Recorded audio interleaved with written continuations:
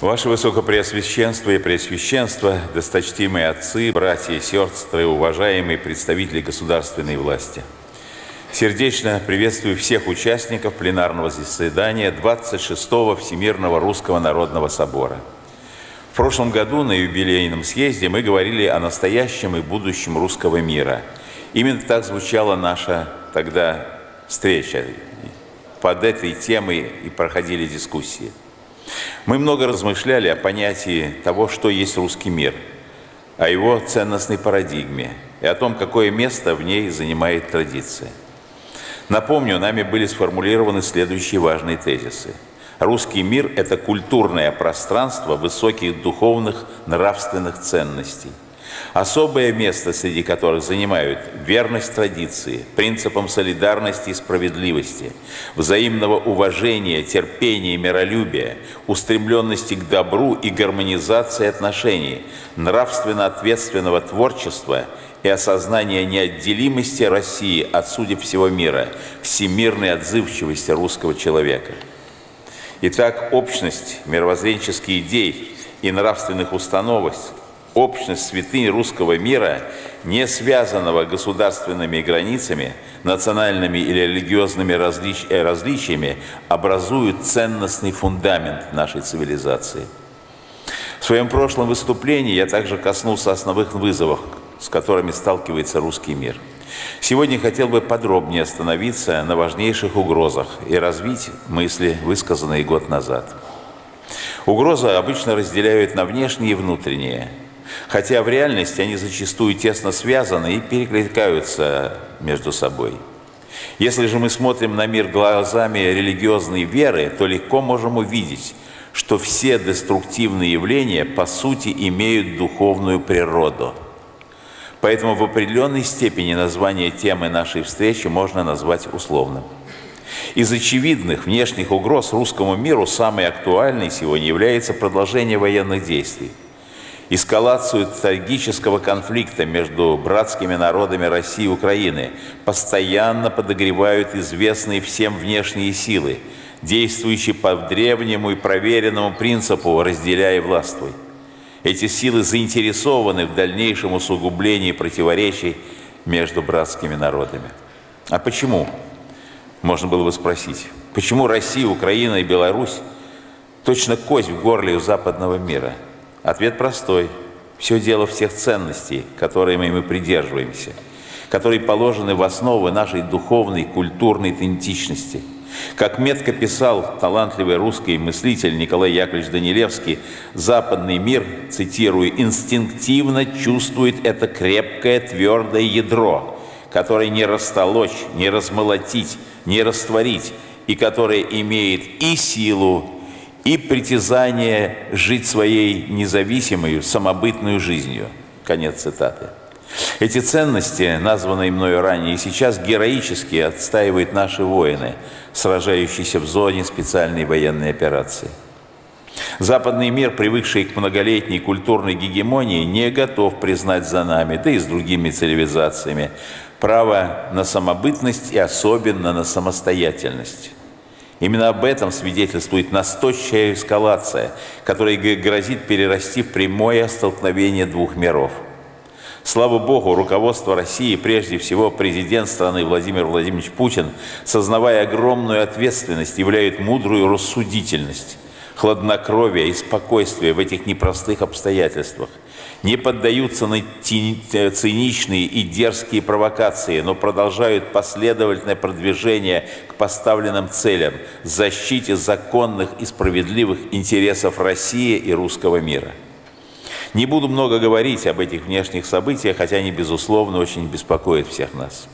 Вместе с тем хотел бы отметить, что нагнетание страха вокруг возможных апокалиптических сценариев, чрезмерный алармизм и спекуляции на ядерную тему не полезны с духовной точки зрения.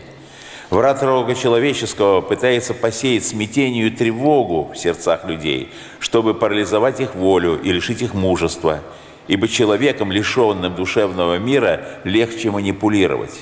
Он всего боится, он сам себя изнутри ослабляет – и всегда нуждается во внешней опоре, а внешняя опора является нередко фактором манипулирования извне. Не нужно всему этому подыгрывать. Христиане не боятся так называемого конца света. Мы ждем Господа Иисуса, который придет в великой славе, уничтожит зло и будет судить все народы. Но такое упование вовсе не означает, что мы должны сидеть сложа руки и молча наблюдать за происходящим, попуская злу торжествовать. Напротив, наше земное призвание – быть воинами Господа и вести по слову апостола брань против духов злобы поднебесной, противостоять злу и отстаивать высокие нравственные идеалы. Вот такое целеполагание у России, как говорят на внешнем контуре. Среди значимых внутренних угроз России в нашей духовно-культурной идентичности – это, как ни странно, распространение и поддержка неоязыческих идей. Казалось бы, экзотика, а совсем нет. Эту тему я уже затрагивал ранее. Повторю, риторика неоязычников обычно строится вокруг идей личного героизма, доблести и подвига, которые якобы не присущи христианству. Лживость этого тезиса абсолютно очевидна.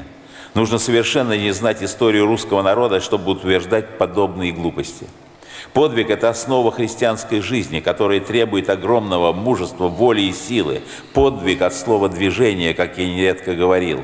Движение вперед и вверх. В подвиге всегда есть вертикальное измерение, то есть значит духовное измерение – История церкви знает множество примеров святых, несших ратное служение. Бережно хранит память о святых воинов и русская православная церковь. Святые благоверные князья Александр Невский, Дмитрий Донской, праведный адмирал Федор Ушаков, преподобный Илья Муромец, Пересвет и Ослябе и сегодня вдохновляют наших воинов, сражающихся на передовой. Однако угроза распространения неоязычества с культом жестокости и грубой силы реально существует – том числе и в армейской среде. Бороться с такими взглядами – важная задача и военных священников, и ответственных командиров, замещающих за своими подчиненными нечто подобное. В последнее время появилась и новая мода устанавливать фигуры языческих божеств для привлечения внимания туристов. Языческие идолы – это именно идолы – то есть религиозные символы, а не какие-то арт-объекты, как это пытается кто-то порой представить. Наши благочестивые предки не свергали идолов. И не потому, что они были некультурными людьми, а потому, что они понимали, что речь идет не о культурном факторе, а очень опасном, касающемся духовной жизни человека – у многих в памяти недавняя резонансная история, произошедшая в одном северном регионе, который прочно ассоциируется с оплотом русскости и православной традиции. Слава Богу, усилиями правящего архиерея, неравнодушной общественностью и указаниями губернатора этот квази-арт-объект был демонтирован.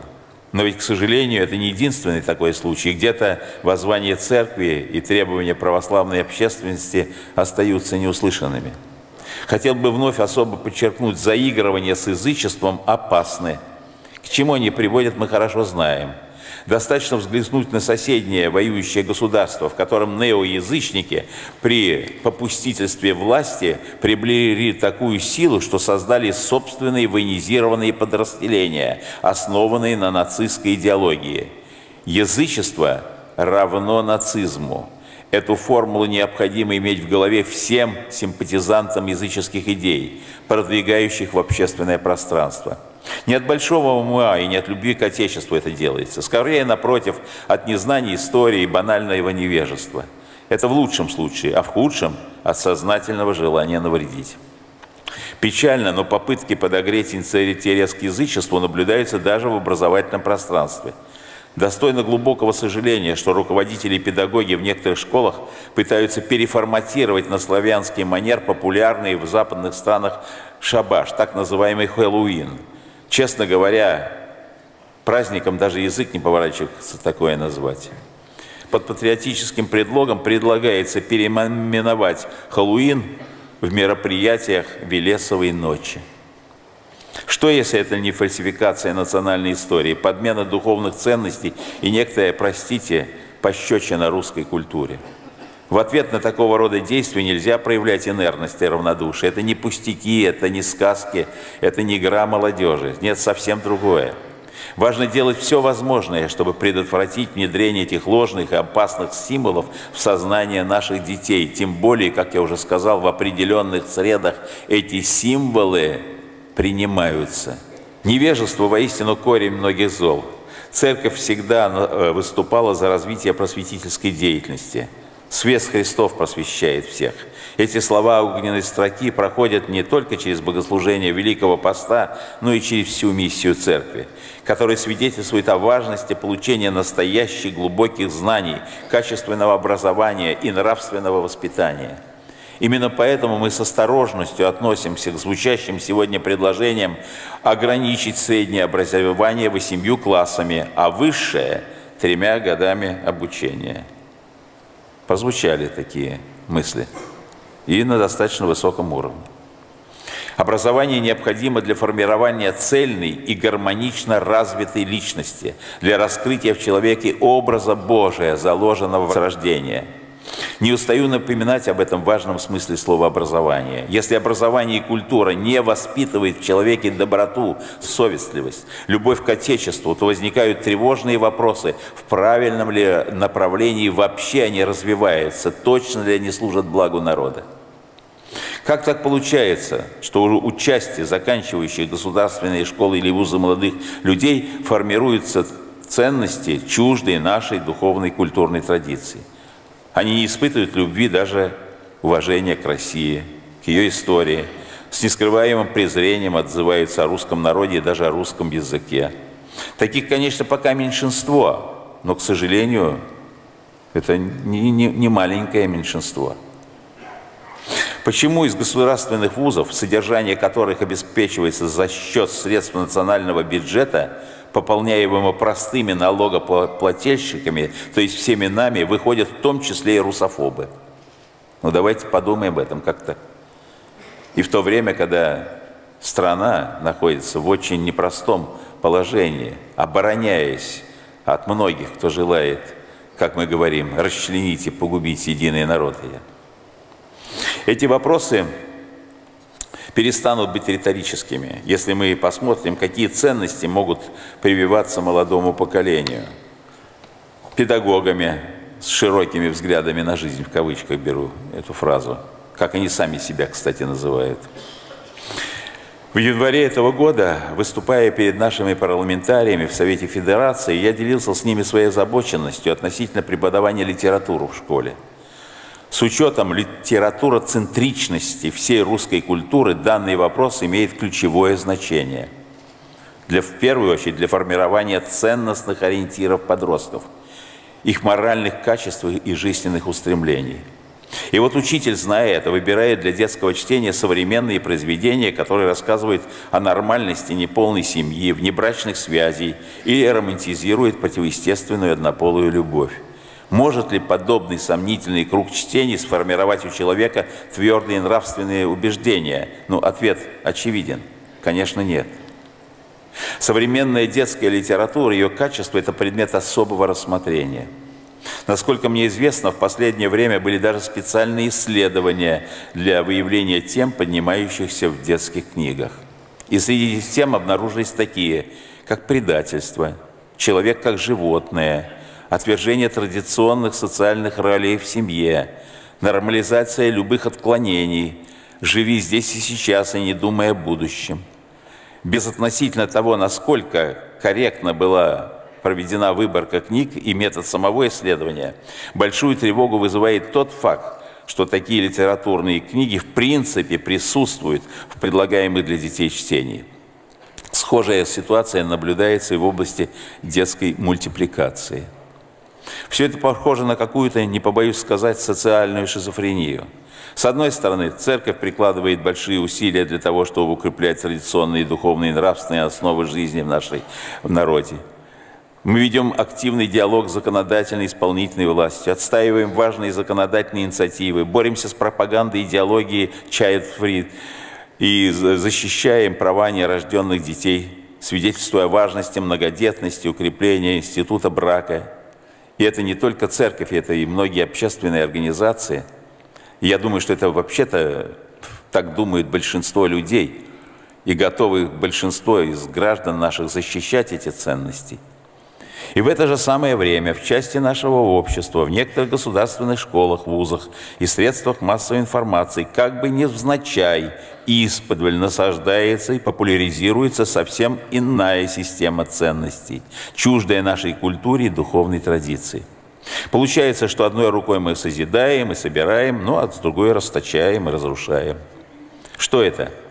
С одной стороны, продвигаем важные законопроекты по защите традиционной семьи, а с другой не допускаем до, до телеэфира передачи про традиционную семью, снятые в том числе с участием представителей церкви. Вот взяли и сняли такую передачу без объяснений. Зато нередко транслируем развлекательные шоу, программы, в которых э, без осуждения и даже без всякого сожаления говорим как-то о чем-то нормальном – имея в виду разводы и нарушение супружеской верности. Шуточку, смешочки, ну такой, флип, такой, как бы такой вот развлекательный момент. И подается он именно в таком контексте, не с точки зрения выражения озабоченности, что это трагедия, личная трагедия, это развал семьи, это трагедия для родителей и детей. А как нечто такое, что вот вокруг чего некая романтика тоже вращается. Вспоминаются в связи с этим пронзительные слова нашего замечательного философа Василия Розанова, с болью и негодованием писавшего тех, кто, презирая свою родину, при каждом добром случае вредит ей из-под тишка. И дальше цитата. Они внушают и нашептывают нашим детям, что мать их недостойная, что теперь, когда они по малолетству не в силах ей всадить нож, то, по крайней мере, должны понатыкать булавок в ее постель, в стулья и диваны, набить гвоздочками везде на полу, чтобы она страдала и истекала кровью. Таких гвоздочков, к сожалению, и сегодня рассыпается немало. Я затронул лишь некоторые темы. Можно было бы сказать и о всеобщем снижении уровня грамотности, и о все более редком, редком навыке логично, ясно и красиво выражать свои мысли, о недостаточно высоком социальном статусе и авторитете учителей, о пугающей эпидемии сквернословия, охватившем в том числе и детей. Жутко слышать, как ребенок 10 лет матом ругается. Все это тоже очень важные вопросы. Судьба целых империй зависит от образования молодежи, свидетельствовал великий Аристотель. Ибо где нет исключительного внимания к воспитанию, там и само государство терпит ущерб. Аристотель, его книга «Политика». Вопросы образования и воспитания подрастающего поколения имеют ключевое значение для будущего нашего народа, а потому должны быть в фокусе особого пристального внимания как государственных властей, так и общественности. Всем нам, любящим русскую культуру, отстаивающим самобытность и духовный суверенитет русской цивилизации, каждому на своем месте предстоит немало потрудиться, чтобы настойчиво, последовательно и решительно ограждать наше молодое поколение от влияния пагубных идей, которые реально угрожают будущему нашей страны. Для русского мира одним из оплотов традиции является семья – Важно решать демографические проблемы, связанные с низкой рождаемостью, с высоким процентом разводов и, конечно, снова и снова скажу, с совершением большого количества абортов. О последней теме не устаю напоминать при каждом случае, когда встречаюсь с людьми, от которых зависит решение этого болезненного вопроса.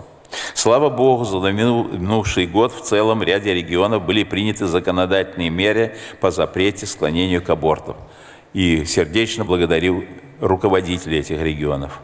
Отрадно, что многие частные клиники добровольно отказались от лицензии на проведение абортов. Тоже благодарю за такой шаг. Надеюсь, что подобные начинания будут распространяться на все регионы и станут вкладом в народосбережение и в улучшение демократической ситуации в России. Еще один серьезный вызов русскому миру – это алкогольная угроза. Мы много говорим о необходимости повышать рождаемость, укреплять семейные ценности, о пропаганде многодетности и борьбе с абортами, но забываем о том, что страшным зверем, пожирающим людей, остается алкоголь распад семей, женское и мужское бесплодие, рождение больных детей, тяжкие преступления со смертельным исходом, совершенные в пьяном виде, ну и, наконец, разрушение здоровья и значительного снижения умственных способностей, как у самих употребляющих алкоголь, так и у их потомков. Получаешь дурную наследственность. Все это ведет к физической, интеллектуальной и духовно-нравственной деградации людей и в перспективе к неумолимому угасанию нации. Проблема возникла, конечно, не вчера. На протяжении нескольких столетий распространяются и настойчиво навязываются общественному сознанию ложные стереотипы о якобы извечной склонности русского человека к пьянству. Ничего подобного. Русский человек всегда был работающим, трудолюбивым, ответственным, целеустремленным. Без этих важных качеств просто невозможно было бы создать такое государство, каким является Россия. В свете этого с сердечной болью воспринимаю сообщение о том, что в текущем году существенно выросла продажа алкоголя. По некоторым из видов продажа выросла даже на 60%. Неприемлемо высоким остается употребление алкоголя на душу населения. Это реальная проблема национального масштаба. Русская православная церковь, свидетельствующая о смертельной опасности алкоголизации, не может не бить в набат по этому поводу – у нас существует церковно-общественный совет по защите от алкогольной угрозы, задачей которой является в том числе координация усилий церкви, государства, институтов гражданского общества. Хотелось бы получить актуальную информацию о том, что реально делается для борьбы с алкогольной угрозой, в том числе и в рамках работы этого совета. Алкоголь оказывает непосредственное влияние на повышение смертности среди населения. Поэтому никакие меры по улучшению демографической ситуации в стране не будут иметь ощутимого эффекта, если не вести борьбу за укрепление трезвенных убеждений. Знаю, что в некоторых российских регионах уже действуют или активно обсуждаются меры по э, ограничению продаж алкоголя. Думаю, это доброе начинание, заслуживающее поддержки.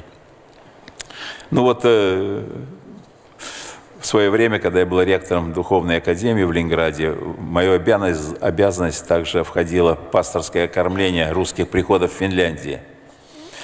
И посещая эту страну, я был удивлен, как, как, как системно и с каким, с каким упорством и настойчивостью власти осуществляли программы по ограничению употребления алкоголя. Как известно, в северных, среди северных народов это действительно э, очень распространено было и представляло большую опасность. И ведь многого достигли. Никакого пьянства повального в Финляндии, по, по крайней мере, о ней могу говорить, не существует. Оказалось, что из этого вообще рабства вырвать народ было невозможно. Но ведь сделали – посредством разумных государственных программ, широкого информирования общественности, воспитания в школах и в других учебных заведениях. Поэтому есть, конечно, соответствующие примеры, и я думаю, что очень важно было бы, чтобы и у нас осуществлялась планомерная работа в плане ограничения употребления алкоголя нашим населением. Необходимо вернуть нашему народу понимание и убеждение, что трезвость – это норма жизни, и тем более жизни духовной. Люди, погруженные в церковную культуру, помнят, что каждое утро мы просим Господа, чтобы Он даровал нам бодрствующим сердцем и трезвенную мыслью прожить всю ночь здешней земной жизни. Духовное трезвение ума невозможно без трезвения плоти. Это аксиома. Без возвращения людей к трезвенному образу жизни нельзя представить будущего русского мира. Если мы хотим и впредь сохранять мировое лидерство в технологическом, интеллектуальном отношении, если желаем, чтобы в народе нашем рождались талантливые, умные, главное, здоровые дети, борьба с алкогольной угрозой – архиважная задача, которую необходимо решать и решать безотлагательно. Но при этом все-таки должен сказать, что совершенно очевидно, что предпринимаемые меры достигают своей цели. И мы являемся свидетелями уменьшения э, алкогольной зависимости в масштабах нашей страны. Большая часть моего выступления в прошлом году была посвящена неблагоприятной миграционной ситуации, сложившейся в России. Хотя ситуация и сегодня продолжает оставаться непростой, но, слава Богу, в настоящее время на федеральном и региональном уровнях принимаются законодательные меры для регулирования миграционных потоков и борьбы с нелегальной миграцией. Замечательно, что в ряде российских регионов прошли форумы и конференции, посвященные этой актуальной теме. Значимым, например, стал Приморский межконфессиональный форум, прошедший полтора месяца назад. Заявления, прозвучавшие на нем, свидетельствуют о глубоком, серьезном понимании проблемы, а также о готовности церкви и общественности активно участвовать в ее решении. Надеюсь, что так и будет. Подчеркну еще раз, непропорциональное замещение коренного населения мигрантами, носителями иного цивилизационного кода, иного исторического опыта может привести к критическому культурному дисбалансу в нашей стране. А это, в свою очередь, несет несомненную угрозу русскому миру, ценностным ядром которого является православие. Кроме э, того. Не секрет, что мигрантскую среду не оставляют без внимания те, кто проповедует идею радикального исламизма, экстремизма, представляющую прямую угрозу российской государственности. Вот я и в прошлом уже говорил об этом, но получил такую гневную отповедь от некоторых не очень доброжелательно относящихся к русской церкви исламских руководителей. Меня это огорчило, потому что речь идет не о желание церкви ограничить вообще мусульманское присутствие в России. Речь идет не о межрелигиозной теме, а речь идет о будущем нашего государства. Речь идет о том, что будет с Россией в будущем. И в том числе о судьбе русского народа. И как же церковь об этом не может говорить? И я был удивлен, очень удивлен этой негативной реакцией со стороны очень небольшого числа, но все-таки некоторых э, руководителей исламских общин. В связи с этим убежден, что корректировка миграционной политики должна заключаться не в одном только пресечении потоков нелегальных мигрантов, что, конечно, тоже необходимо делать, и не только в том, чтобы декларативно провозглашать равенство закона для всех. В прошлом году я уже обращал внимание на неэффективность механизма решения проблем мигрантов через диалог государственных властей с национальными диаспорами и их так называемыми лидерами. Хотел бы вновь подчеркнуть, что этот способ недостаточно эффективен. Не всегда понятен статус этих лидеров. Они не занимают официальные должности. Государство не уполномачивало их представлять какие бы то ни было объединения – Перед законом мигрант выступает именно как физическое лицо, наделенное правами и обязанностями, а не как член некой организации по национальному признаку. Мигрант, а не те, кто пытается говорить от его имени, является субъектом права. Предлагаемые диаспорами способы решения проблем не приносят пользу ни государству, ни государству, образующему русскому народу. К сожалению, ряд защитников, приезжих специалистов в кавычках, нарушающих законы, пытаются представить справедливое общественное несогласие с ситуацией как притеснение мигрантов. Да нет никакого притеснения. А что ж, нам и озабоченность свою выразить нельзя? Можно себе представить, что если бы нечто подобное было в тех странах, где представители этой самой миграции являются большинством – и если бы русский народ действовал там таким же образом. Э, поэтому еще раз хочу заявить, церковь никогда и ни при каких обстоятельствах не выступает и не будет выступать за дискриминацию людей по национальному и религиозному признаку, ибо сама в недавнем прошлом страдала от такого притеснения. Но повторю вновь, позиция замалчивания – выбранная некоторыми региональными властями, спускание ее на тормозах якобы для снижения общественной напряженности ведет как раз к обратному, к социальному недовольству. Это также является значительной угрозой русскому миру, для которого гармоничное взаимодействие государственной власти, общественности и всех людей доброй воли является важным принципом бытия. Еще еще раз скажу, конечно, выгодно эксплуатировать в каком-то смысле лишенных прав мигрантов. Им можно меньше платить, они могут жить в ужасающих условиях, на них можно зарабатывать. Но и те, кто так поступает, заботятся в первую очередь о своей, о своей прибыли, о, своей, о своем достатке. Но очень важно, чтобы государство имело возможность реально регулировать все эти процессы, не отдавая их на откуп тем людям, которые используют мигрантов, в том числе для повышения своего материального благосостояния. Если так, то ничего не получится. Здесь действительно нужно вмешательство государства. А русский мир действительно это пространство высоких духовных нравственных идеалов. И причем людей разных религиозных взглядов, проживающих на территории России. А почему так? Потому что у нас общая история, богатый и ценный опыт совместного государственного строительства – и отстаивание свободы и независимости нашей большой Родины, что особенно проявилось в годы Великой Отечественной войны. Одной из угроз, могущих расколоть единство русского мира, является попытки внести этно-религиозную напряженность в наше общество. Масло в огонь, к глубокому сожалению, подливают и безответственные высказывания некоторых сограждан, Э, не только подвергающих сомнению интерпретацию ключевых событий в истории России, но и оспаривающих даже государствообразующую роль русского народа. Эти сограждане не стесняются, впрямую говорят, переиначивая всю нашу историю, отодвигая как бы русский народ на периферию этой истории – Напомню, что последнее является грубым нарушением Конституции страны. Стоит особенно подчеркнуть, подобные заявления льют воду на мельницу врагов России, желающих усиления центробежных тенденций в нашем обществе.